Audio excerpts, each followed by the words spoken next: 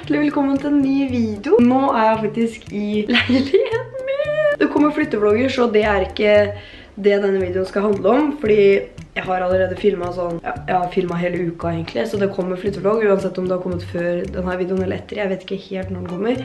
Jeg håper flyttevloggene er ute før denne videoen. Denne her videoen er i samarbeid med Good For Me, som er kosttilskudd og vitaminer. Ja, jeg bruker for eksempel veldig mye beta-karoten om sommeren på grunn av at jeg får soleksem veldig på brystet og på toppen av på en måte beina, og jeg får ja, veldig soleksem og blir fort solbrent hvis jeg ligger lenge i sola, og jeg liker å ligge lenge i sola. Men jeg har på en måte, det jeg har fått er at jeg har fått beta-karoten gold fra Good For Me, og så har jeg fått Beauty Bomb, eh, vitamingummis for skin, hair and nails, og så har jeg også fått Luxurious, og det er Premium Hair Vitamins. Nå er jeg midt i flyttelasset her, men her er disse håregreiene. Jeg skal fortelle mer hva de her er til etterpå. Og så er det her beta-karoten gold, så jeg har veldig mye, for å si det sånn, så det er bra. Og her, altså den pakningen, gud. Og dette her er gummigodteri, holdt jeg på å si, gummivitaminer. Så jeg har mine kosttilskudd her, som jeg tar da hver dag. Um, så nå er det på tide å ta dem, for nå er klokka 12 på morgen. I denne videoen så skal jeg egentlig ha litt sånn en storytime fra en sommerferie, typ syden storytime, som skjedde, som jeg synes var ekstremt Klein. Jeg har jo allerede hatt det fra da jeg var i... Hvor var jeg da? Når jeg var i Spania med mamma og pappa, eh, eller familien da. Og da hadde jeg når jeg var dårlig på do. Og nå er det en annen ting som er enda eklere, altså det var krise. Men først tenker jeg vi tar vitaminene. Så kan jeg fortelle litt om hva hver enkelt er. Ok, vi kan starte med Beauty Bombs. Den her er...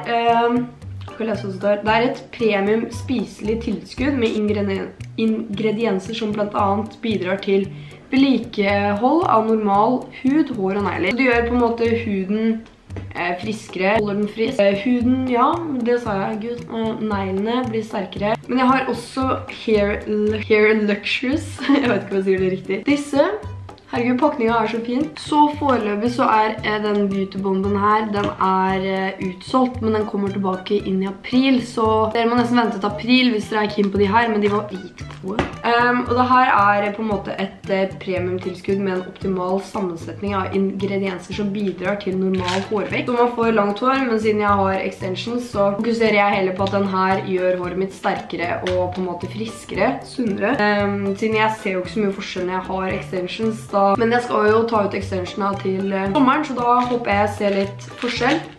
Så de skal jeg ta. Og så har vi da egentlig hovedfokuset i denne videoen, der er beta-karoten gold. Det her er da, jeg vet ikke om mange vet hva beta-karoten er, men det er et kosttilskudd som inneholder naturlig beta-karoten i en vegetablisk kapsel. Produktet er anvendelig til personer med vegetarisk eller vegansk kosthold, samt glutenallergikere. Så den er både gluten-free og vegansk og vegetariansk, så da vet dere det, dere som vil ta det her. Og jeg har brukt beta-karoten siden jeg gikk på ungdomsskolen på grunn av min soleksem som jeg får. At jeg får jevnere brunfarge, at jeg får på en måte...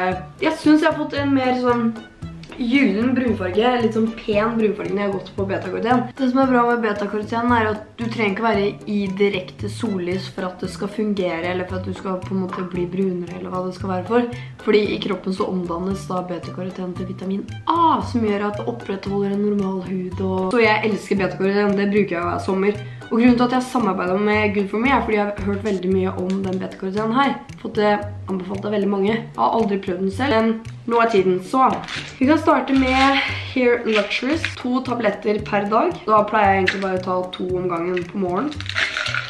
To av den. Og de er... Å, de er sykt søte. De er sånn rosa. Jeg suger på svelgetabletter. Det var det. Beauty Bombs, og de her tok jeg, de har jeg tatt en stund, og de er dritgode. Det er også to om dagen. To om dagen, ja. Dritgodt. Mm, så godteri. Mm. Beta-karoten, og den her tar man en om dagen. Jeg har tatt tidligere andre beta-karoten-merker, har jeg på en måte tatt to om dagen, men når det står en, så tar man en. Greia er at jeg skal teste ut de her nå, på våren, vinteren, til eh, på en måte sommeren da, er ferdig. Så jeg tester i seks måneder, og så skal jeg komme tilbake til dere og si hva jeg synes om de her pillene. Den ser ut som en liten rådyr gjort. Sånn, da har jeg tatt de. Skal vi gå over til storytimen min, og det her er egentlig litt ekkelt, for det her skjedde når jeg var sånn 13 år. Og det som skjedde da, var det at jeg var i Mallorca med farmoren og farfaren min. Da gikk jeg vel i... Jeg skulle starte i 9. klasse, så jeg gikk i 8. Det var sommeren til 9. Var det det? Ja. Og vi dro til Mallorca. Jeg husker ikke helt hvor i Mallorca det var. Farmor og farfar er ekstremt ungdommelige til å reise med. Farmor er liksom... Farmor og bestemor og alt sånt der, det er mine beste venninner. Jeg er så glad for at jeg har dem i livet mitt. Og vi dro da ned dit og var det en uke, og vi bada og sjohai. Og jeg er en person som elsker å dukke under vann. Og etter at jeg ble litt fake med disse vippene mine og extensionene, så kan jeg jo ikke gjøre det.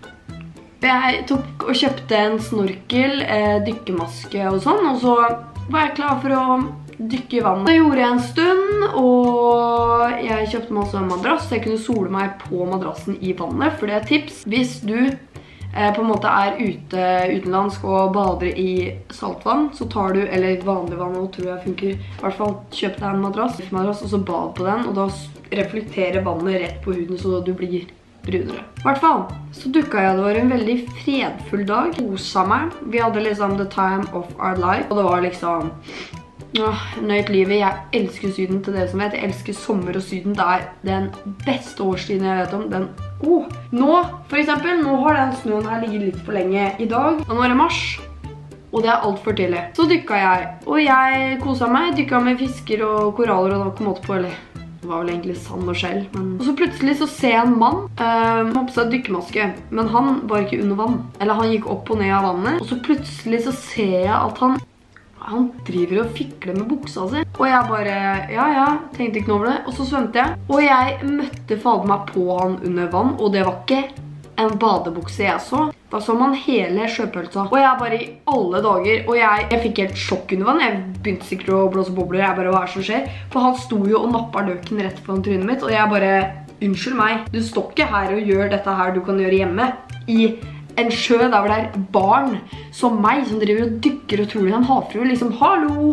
Hva er problemet? Åh, Gud, så nei. Jeg um, reiser meg opp rett foran trynet hans, jeg bare... Og han liksom bare ble flau, og så tok på seg brillene og svømte av gårde som en liten delfin. Bare... Jeg var traumatisert resten av den uka. Jeg hadde vel ikke vært borti noe sånt i en alder av 13-14. Jeg ble livredd, og så jeg svømte jo tilbake da, til hula mi, holdt jeg på å si, på stranda med farmor og farfar. Jeg bare, hallo, hallo, det sto en mann og, og tok, på kjøpelsa si, og jeg ble helt nervøs. Og jeg bare, åh, og de bare, nei, hva faen, hvor er den? Hvor er den?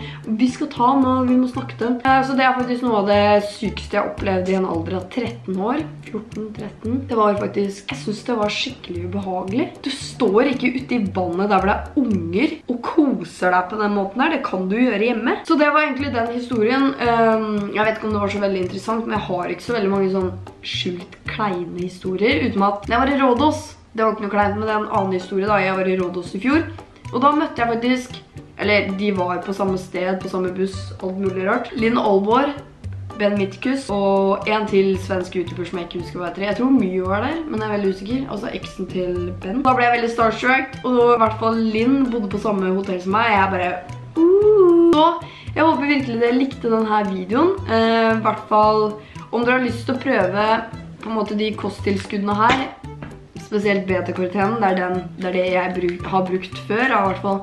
Så har jeg linket alt under som sagt, og jeg gleder meg veldig til å oppdatere dere etter hvert. Forskjellene, om jeg har merket noe forskjell på hår og negler og hud og eh, brunfarge og alt sånt der, så jeg gleder meg sykt.